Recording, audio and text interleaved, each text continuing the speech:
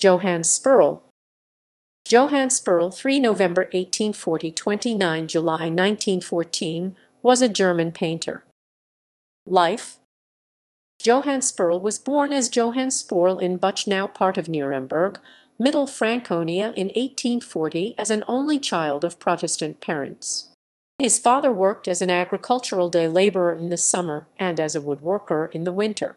His mother worked as a housekeeper. The family lived in the next-door house of a homestead.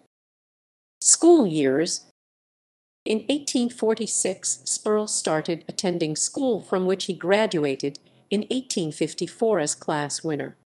The local pastor assisted Sperl in securing an apprenticeship as a colorist. With the death of his father in 1856, Sperl became the sole provider of his sick mother and started an apprenticeship to become a lithographer. In the winter of 1858 59 Sperl fulfilled his wish of attending drawing courses at Nürnberger Kunstgewerbeschule. At this time, the Kunstgewerbeschule was led by August von Kreling, a versatile history painter and sculptor. Sperl met the painters Rudolf Hirth du Frênes and Theodor Alt there. In 1865 the three artists met again in Munich and subsequently became members of the Leibl Circle. He became director of a lithographic institution in 1863.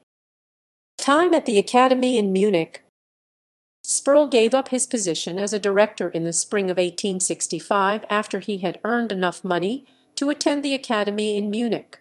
He joined the painting class of history painter Hermann Anschutz. In 1865 he met Wilhelm Leibl, which led to a lifelong friendship between the two.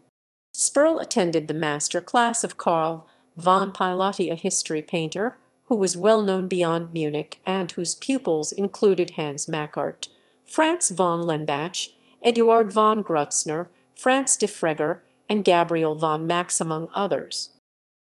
Study period with Ramberg in the spring of 1866 Arthur von Ramberg was called from Vienna to Munich and took over the master class in Munich. Since Sperl had a genial relationship with Ramberg, he continued to be his pupil and left the academy only after Ramberg's death in 1875. Even though Sperl was a member of the Leibl circle his training under Ramberg was decisive in forming Sperl's style.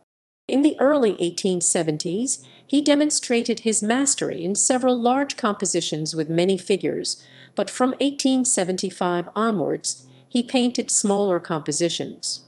In 1878 he and Leibl moved to Berbling.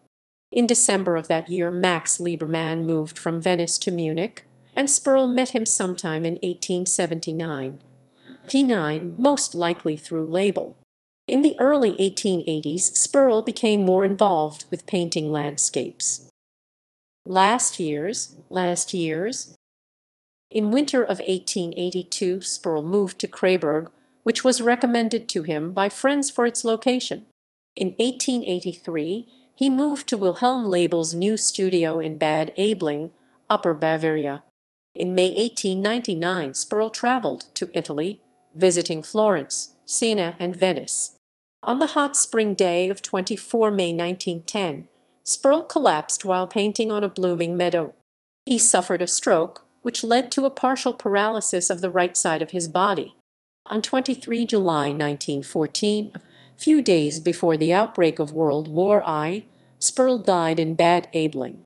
His last wish was to be buried next to his friend Wilhelm Leibl in the same graveyard in Wurzburg.